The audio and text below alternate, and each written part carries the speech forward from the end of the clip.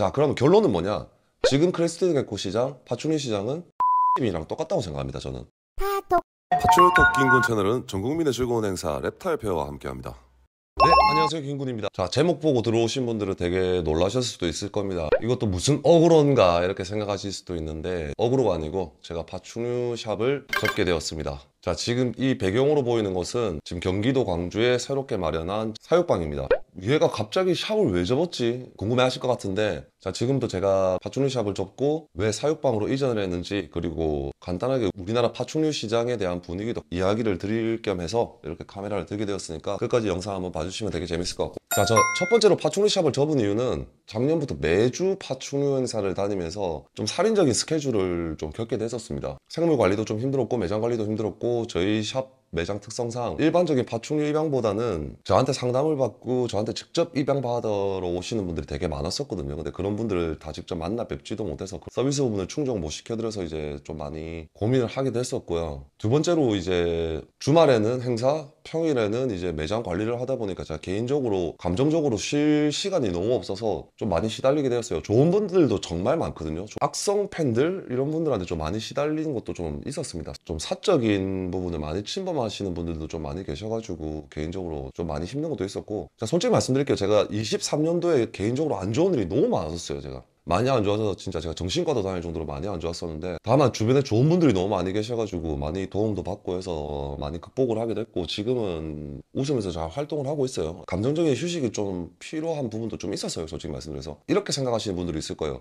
야 그럼 너가 샵을 나가지 않고 직원을 채용하면 되지 않느냐라고 할 수도 있는데 자 여기서 파충류 시장 이야기가 나오게 됩니다. 예. 현 파충류 시점에서 제가 추가로 자본금을 넣어서 투자를 하기에는 조금 리스크가 좀 크다고 판단을 했었어요. 결국에 어쩔 수 없이 샵을 접게 되었고요. 그럼 이쯤에서 국내 파충류 시장에 대한 이야기를 안 할 수가 없는데 야 유튜버가 하는 파충류 샵을 닫을 정도면 정말 힘든 게 아닌가 뭐 이렇게 생각하실 수도 있습니다 제 개인적인 생각입니다 개인적인 생각인데 파충류 시장이 그렇게 나쁘다기보다 지금 전 세계적으로 경기 침체로 인해서 모든 여가 취미 서비스 산업 쪽의 모든 분위기가 다 안 좋아요 그래서 현실적으로 이쪽으로 들어오는 그 자본금이 작을 수밖에 없는 상황이고 그리고 crested gecko가 선풍적인 인기를 끌면서 과공급으로 인한 수요와 공급의 법칙이 살짝 무너지는 바람에 시장이 조금 더 안 좋아진 것도 사실이에요 솔직히 말씀드려서. 하지만 그래도 저희가 많은 행사장을 섭외를 하고 이제 대관을 하면서 느끼는 건데 타 취미 행사보다는 확실히 집객력은 파충류가 월등히 높은 건 사실이에요. 그래서 이제 파충류 행사들이 계속 끊임없이 생긴 이유도 그거고 말 그대로 진짜 수요가 있다 보니까 계속 행사가 생기는 거겠죠. 아무리 봐도. 제가 네이버 월간 검색량을 갖다가 이제 매주 이렇게 확인을 해봐요. 월간 검색량이랑 이제 파충류 종마다 뭐 이것저것 다 보는데 crested gecko가 햄스터랑 웬만한 열대어를 따라잡은 상황이거든요. 그만큼 crested gecko를 많이 키우고 있다라는 반증이고요. 이거는. 그리고 용품 업체들 수많은 이제 부가적으로 생긴 사업들 보면 나쁘지 않게 돌아가고 있습니다 지금. 자 그러면 결론은 뭐냐 지금 crested gecko 시장, 파충류 시장은 치킨집이랑 똑같다고 생각합니다 저는. 동네 치킨집 엄청 많죠. 진짜 지금 휴대폰 한번 들어서 검색해 보세요. 치킨집 검색해 보시면 수도 없이 끝도 없이 많이 나올 거라고 생각하는데 그 치킨집들이 다 망하진 않아요. 근데 그 중에 한두 개는 매출이 엄청나게 높고 한 7개에서 8개는 대부분 망하거나 본전치기를 할 거예요. 그 말은 즉슨 뭐냐? 파충류도 이제 마케팅 시대가 왔다는 거예요. 서비스와 품질은 기본적인 시대가 됐고요. 자 그러면 예전 같은 경우에는 솔직히 crested gecko가 인기가 워낙 많았을 때는 암컷들 없어서 진짜 한 마리에 막 30만원, 50만원, 100만원 막 이렇게 미친 듯이 분양 나가죠? 요즘엔 어때요? 너무 많다 보니까 무조건 가격도 정직해야 되고 남들보다 경쟁력도 있어야 되고 그 사람이 얼마나 멋지게 잘 키우고 있는가도 알리지 않으면 아무런 소용이 없는 시대가 왔다고 생각합니다. 자 그리고 또 파충류 시장에 대한 개인적인 견해는 개고양이 같은 경우에는 지금 우리나라 사육 인구가 어마어마하게 많잖아요 지금. 그리고 열대어 같은 경우에도 이제 수족관 같은 경우에도 엄청 많잖아요. 근데 파충류는 딱 그 완벽한 중간 포지션을 가지고 있거든요. 그러니까 개고양이처럼 하루 종일 애한테 시간을 할애하지 않아도 되고 그렇다고 해서 열대어처럼 손이 많이 가거나 만지지 못하거나 보고만 있어야 된다. 그런 것도 아니에요. 만질 수도 있고 손도 덜 가고 기본적인 교감은 또 가능하고 파충류가 가지고 있는 애완동물로서의 장점은 어마어마하게 많다고 생각합니다. 그래서 시장은 갈수록 계속 커질 것 같고요. 근데 하지만 시장이 커지고 인기가 많, 많으면 많을수록 어떻게 되겠어요? 공급도 많아지겠죠. 모든 애완동물 시장이 다 똑같아요. 수족관, 개고양이 업체부터 시작해가지고 인기가 많은 업종들은 경쟁자가 무조건 많을 수밖에 없을 것 같아요. 그건 앞으로도 계속 지속될 것 같고요. 자 그리고 특정 매니아분들께서 말씀하시는 이건 크랩판이다. 와 진짜 왜 크랩가 이렇게 많냐? 행사장에 크레가 왜 이렇게 많냐? 분양 업체들 다 왜 크레밖에 없냐? 솔직히 말씀드릴까요? 크레밖에 안 찾아요.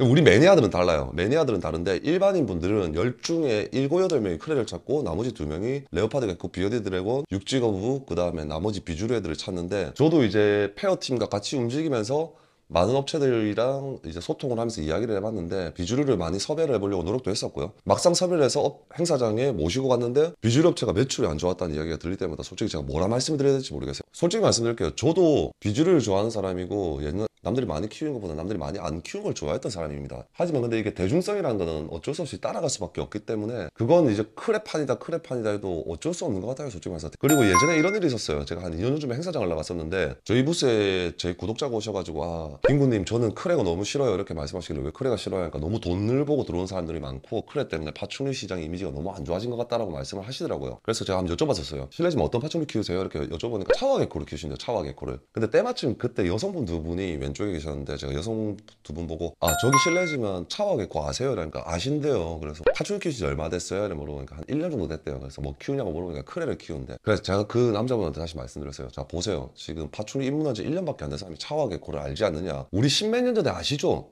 chahoua gecko 진짜 극 maniac한 종이라서 웬만한 사람들 다 몰랐어요. 근데 crested gecko 덕분에 진짜 많은 비주류들이 일반인들에게 알려진 것도 사실이거든요. 그래서 crested gecko를 너무 미워하시지 않으셨으면 좋겠고 저는 이 크레 때문에 시장이 앞으로 계속 커질 거라고 생각하고 이제 시장도 갈수록 좀 더 체계화될 거라고 생각하니까 조금만 더 믿고 지켜봐 주셨으면 좋겠고 또 크레 breeder 분들은 이런 시장 분위기에 맞춰가지고 조금 더 성숙해져야 되지 않나 라는 생각이 듭니다. 자 파충류 시장 이야기는 이 정도로 하고 제 앞으로 활동 계획은 파 충류 토끼군 채널이 또 이제 사육방 체제로 전환하면서 아 얘도 이제 또 번식만 하면서 뭐 크레가 어쩌고 저쩌고 우리 가고일이 어쩌고 저쩌고 quality 이야기만 하면서 분양만 하려는 거 아닌가 생각하실 건데 예전과 달라질 거 아무것도 없습니다. 제가 사육방 이전하게 결심하게 됐던 계기가 유튜브에 좀더 집중하고 주말 행사장에서 여러분 찾아뵙고 좀 그런 걸 확실히 세분화시키고 싶었어요. 그래서 이 이전 작업 때문에 2주 동안 좀 못 찾아뵀던 거는 양해 부탁드리겠습니다. 그래서 이번 주부터는 다시 이제 라방 컨텐츠부터 시작해가지고 방문기 컨텐츠부터 다양하게 왕성하게 활동할 계획이니까 많은 기대 부탁드리겠습니다. 자 그리고 아시는 분들 아시겠지만 제가 우리 Reptile Fair 팀과 함께 움직이고 있어요. 그래서 그 Reptile Fair 행사장에서는 계속 무대 위에 올라와서 또 여러분들 즐겁게 재밌는 정보도 전달해드리고 이벤트로 재밌게 해드릴 예정이니까 5월 19일 동대문 1주년 사은 행사로 해서 무료 입장으로 해가지고 또 재밌게 하고 있고 5월